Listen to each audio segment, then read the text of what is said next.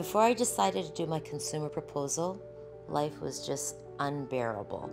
Um, I was always stressed out. I couldn't sleep at night. I wasn't myself. I didn't want to be around anybody. Once I made that first step and I felt relief, it was a positive feeling, and I actually look forward to waking up every day.